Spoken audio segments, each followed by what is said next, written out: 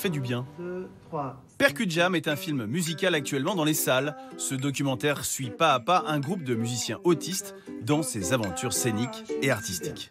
Super. On fait Artiste, autiste, lettre d'écart. Un film touchant, instructif et drôle, un bonheur simple et communicatif.